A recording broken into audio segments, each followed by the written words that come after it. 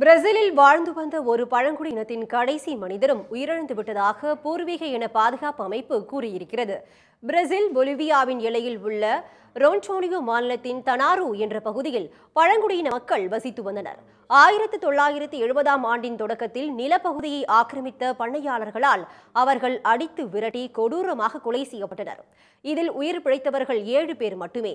ஆனால் ஆயிரத்து தொள்ளாயிரத்து தொன்னூற்று ஐந்தாம் ஆண்டு மீண்டும் தாக்கப்பட்ட போது அதில் ஆறு பேர் உயிரிழந்தனர். பழங்குடியினத்தில் இறுதியாக மிஞ்சியவர்தான் மேன் ஆஃப் த ஹோல் என்றழைக்கப்பட்ட பழங்குடி நபர். பள்ளங்களை தோண்டி வைத்து அதன் மூலம் விலங்குகளை வேட்டையாடியதால் அவருக்கு இந்த பெயர் வழங்கப்பட்டது. அடர்வனத்தில் தனியொருவராக இருபத்து ஆறு ஆண்டுகளாக வாழ்ந்து வந்த அவர் மிக அரிதாகவே பிறர் கண்களுக்கு புலப்பட்டு வந்தார்.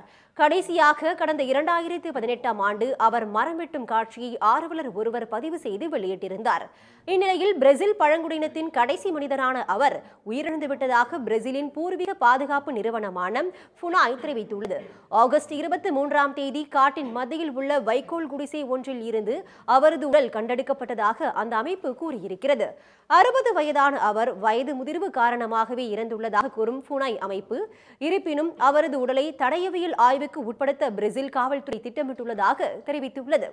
அவர் வசித்த குடிசையில் கிடைத்த பொருட்கள் மூலம் வைக்கோல் ஓலைகளை கொண்டு அவர் வீட்டினை கட்டியுள்ளதும் சோளம் கிழங்கு போன்றவற்றை விளைவித்தும் தேன் மற்றும் பப்பாளி வாழைப்பழங்களை உண்டு வாழ்ந்ததும் தெரிய வந்துள்ளது பிரேசிலில் தனாரு பகுதியில் வசித்த கடைசி பழங்குடியினத்தின் கடைசி மனிதரும் உயிரிழந்து விட்டது பிரேசிலில் சோகத்தை ஏற்படுத்தியிருக்கிறது.